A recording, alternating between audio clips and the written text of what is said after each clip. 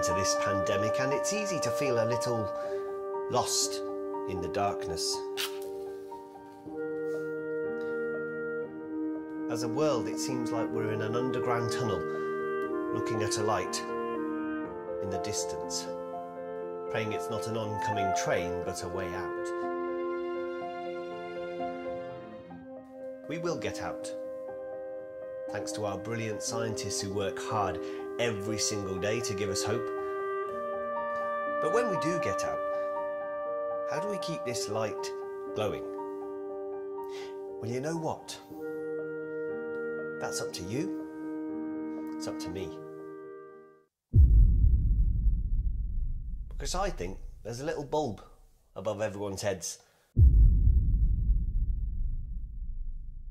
Just there. Levitating. Plugged in by our parents at birth. Protected by their unconditional love. Not switched on from the outset. The bulb is filled with positive energy of experience, building up that power until its day of luminescence. Here's my bulb, my dad,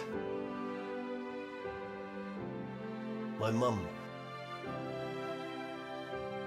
my brother falling out with me, then sticking up for me, the family shell suits and dodgy beards, my teammates' filthy kits and frozen peas on my knobbly knees. The screeching violin in the orchestra, that secondary school photograph that nobody smiled for, lifelong friends of a youth theatre, lifelong friends of a community theatre, and that goal.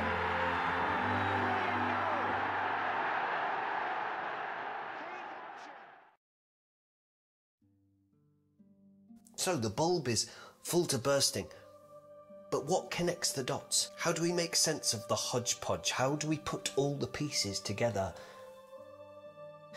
Well, it turns out what we need is a light giver.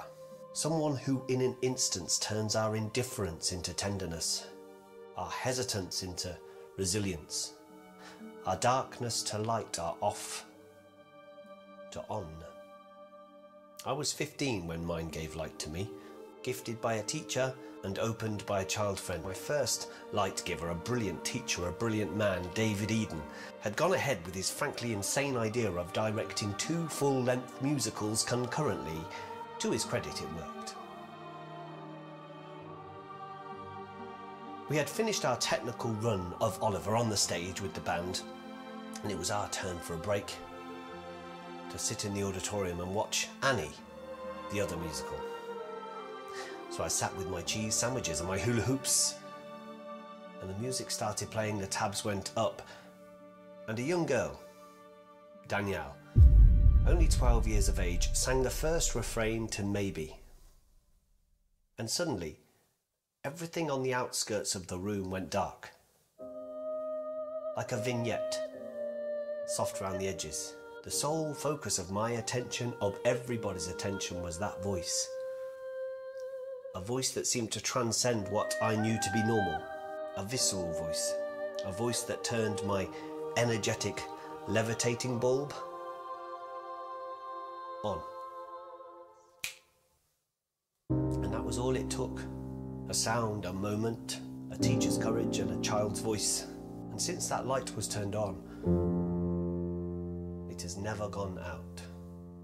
When we finally get out of this, Endeavour to be the light giver. Be the person who fills people with positive energy and propitious experience. And maybe, just maybe, you could be the one who turns on a light. That's the greatest gift. Your brilliance can build their castles. Your simple act today can unlock their tomorrow. You see, it turns out people need people.